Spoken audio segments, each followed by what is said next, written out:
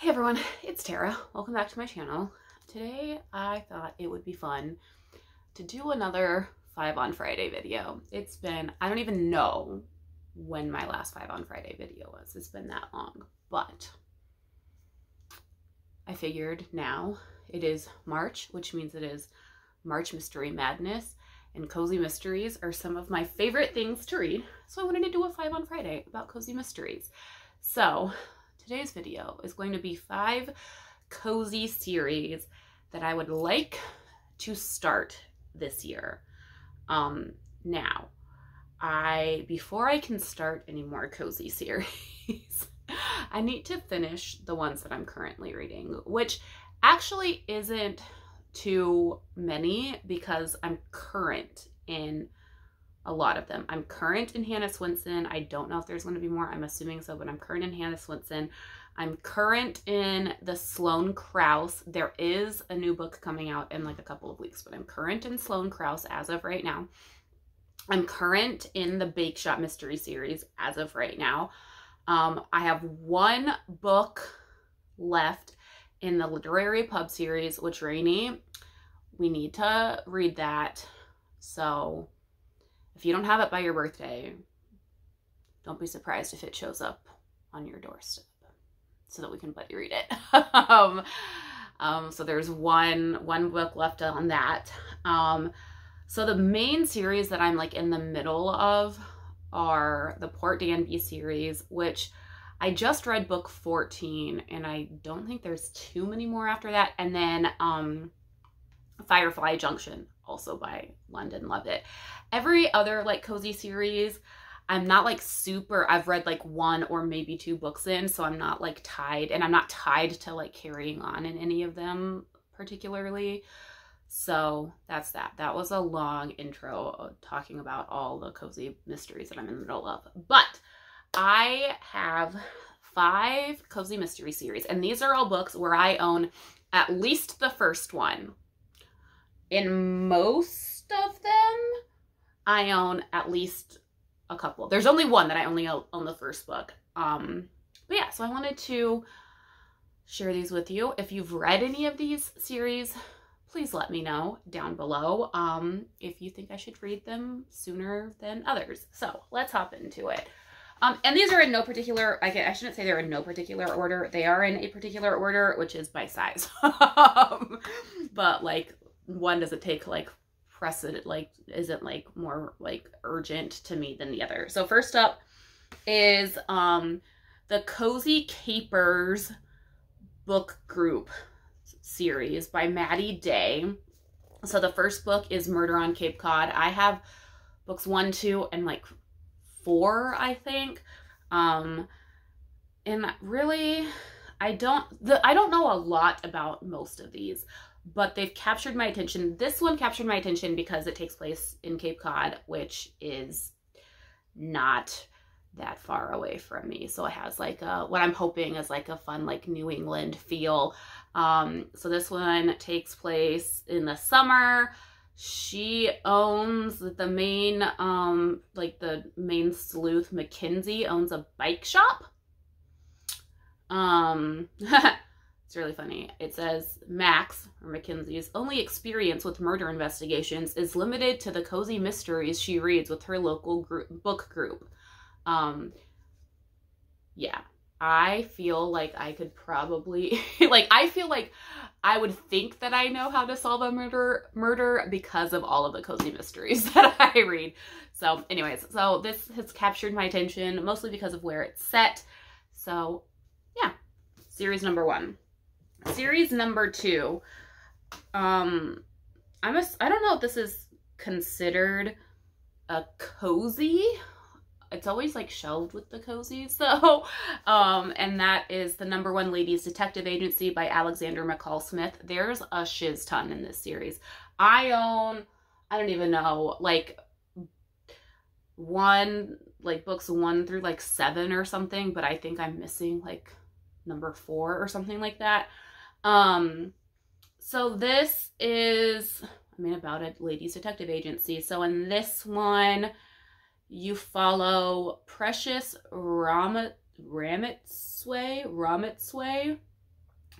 who is drawn to her profession to help people with the problems in their lives. Um, so this really, like, I'm pretty sure these are set. Are they set in Africa? I want to say they are. Um, yeah, set in Africa, which is really cool. You know, so many of the cozy mysteries that I read are just set in like a small town USA. So I like that it's set in Africa.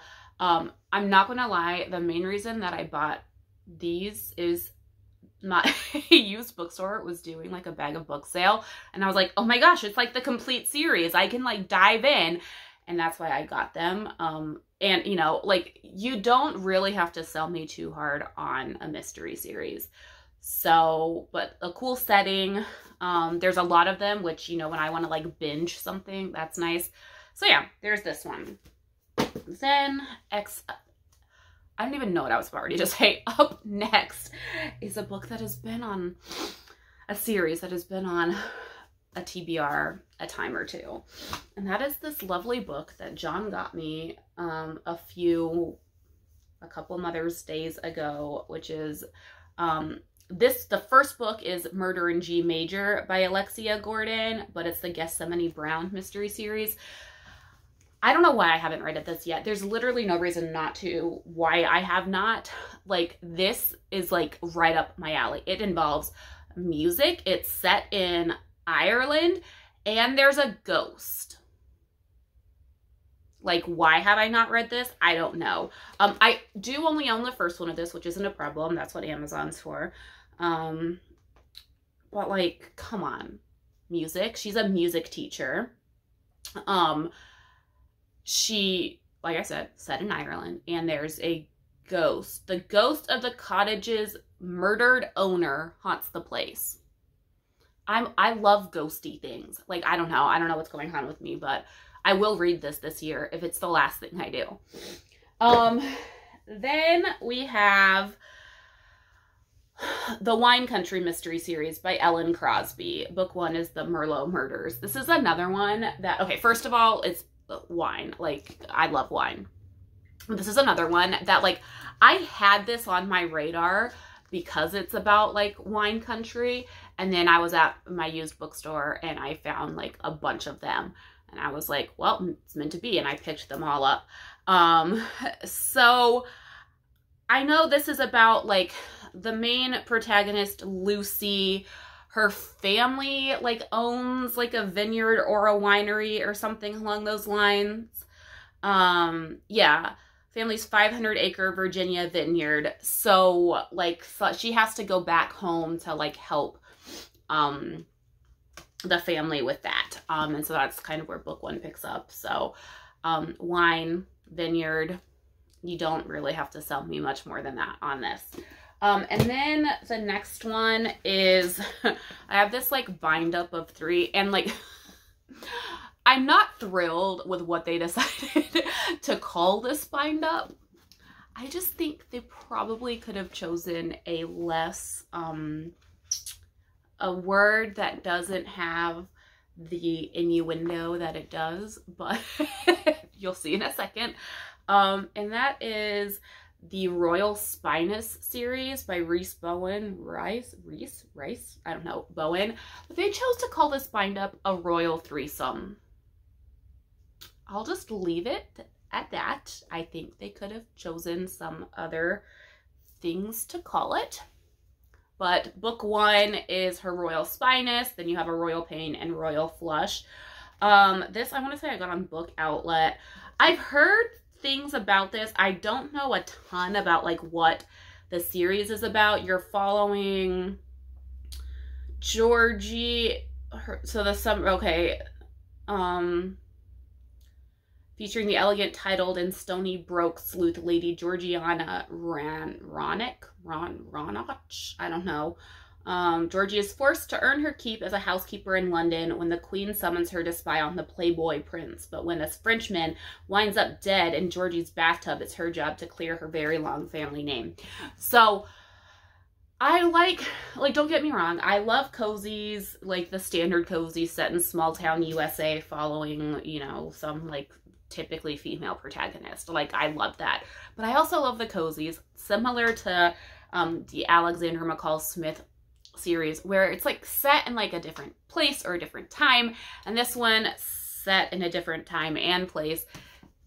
It, it, it struck a chord with me. So I don't know exactly when. I'm assuming early 1900s because there is a car on the front of this. So it can't be like super, super in the past.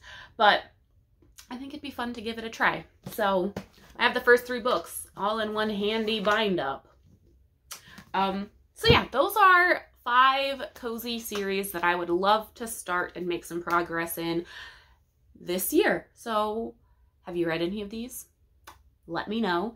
Um, I know that some of them have been read by people that I follow before, um, but some of them I don't think I've ever heard anyone else talk about. So let me know your thoughts. Let me know if you haven't read any of these, but you would like to. Let me know if you want to buddy read them because that would give me some added incentive to read these and read books that are on my shelf because I own all of them. and that's one of my goals for this year. So that is it for now. Thank you so much for watching. Until next time, happy reading. Bye.